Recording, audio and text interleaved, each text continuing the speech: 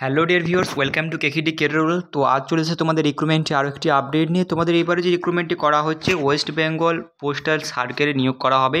এটা কিন্তু জিডিএস পদে নিয়োগ করা হবে তোমাদের, অর্থাৎ গ্রামীণ ডাক সেবক পদে। এই গ্রামীণ ডাক সেবক পদের কি ওয়ার্ক প্রোফাইল থাকে, কি কাজ করতে হয় এবং কি কি ধরনের এখানে ক্রাইটেরিয়া লাগে এক্সাম কি ধরনের হয়, সবটাই কিন্তু ভিডিওর মাধ্যমে আলোচনা করব। তোমরা কীভাবে আবেদন করবে তোমাদের সেটাও দেখিয়ে দেবো মোবাইলের মাধ্যমে বাড়িতে বসে।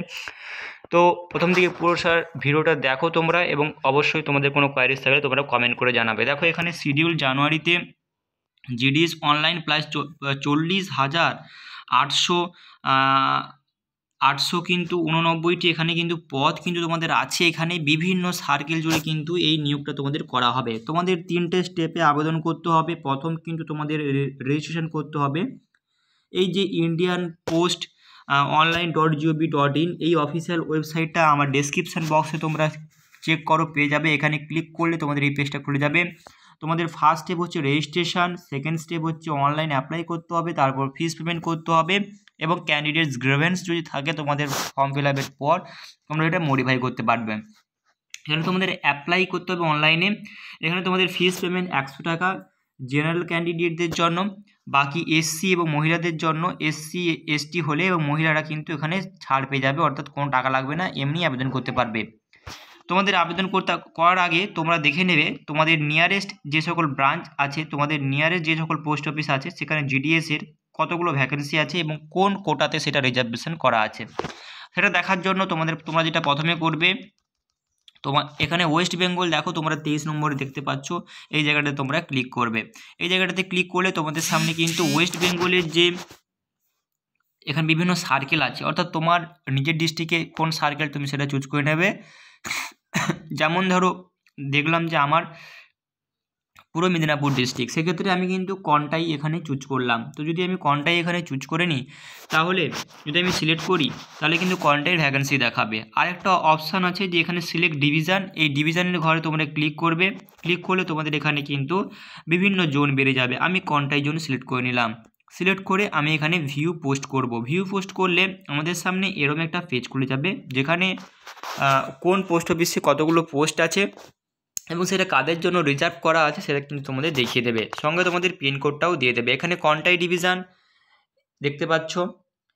ডিভিশন এখানে দেওয়া থাকবে। সবগুলো একই থাকবে।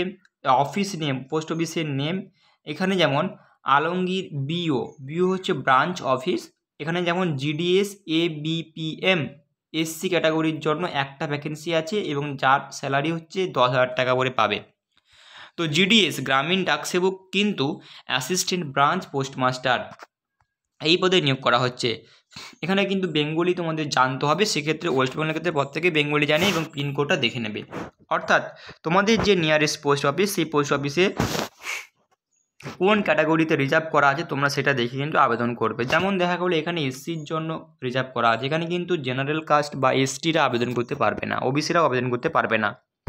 এটা যেমন ইউ আর আনরিজার্ভ ক্যাটাগরি তাহলে এখানে জেনারেলে কেবলমাত্র আবেদন করতে পারবে, এক্ষেত্রে এসসি এসটির আবেদন করতে পারবে না এই পোস্ট অফিসের ক্ষেত্রে।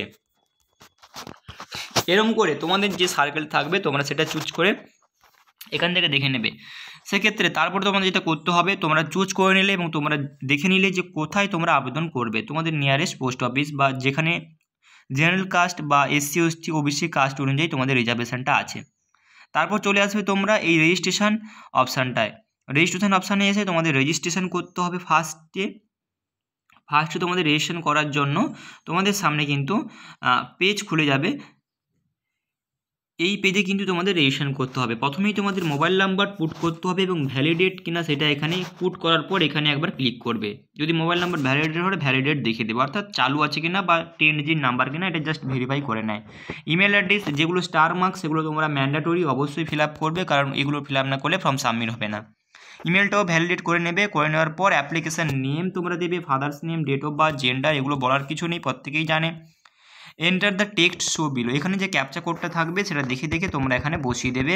এই যে টেক্সট শো বিলো এই ঘরটা এটা দেখে দেখে তোমরা বসিয়ে দেবে। দিয়ে তোমরা সাবমিট করবে। সাবমিট করলে এবং এখানে যখন তোমরা সার্কেল চুজ করবে click here to know your circle এখান থেকে লিস্ট দেখে নিতে পারো বা আগে তোমরা ওইখানে সার্কেল দেখে এখানে তোমরা সার্কেলটা সিলেক্ট করে নিতে পারো। নেওয়ার পর তোমরা আইডি পাসওয়ার্ড পেয়ে যাবে, দিয়ে আবার লগ করে তোমাদের পেমেন্ট করতে হবে। পেমেন্ট সাকসেসফুল হয়ে গেলে তোমাদের প্রিন্টেড কপি তোমরা নিয়ে নেবে।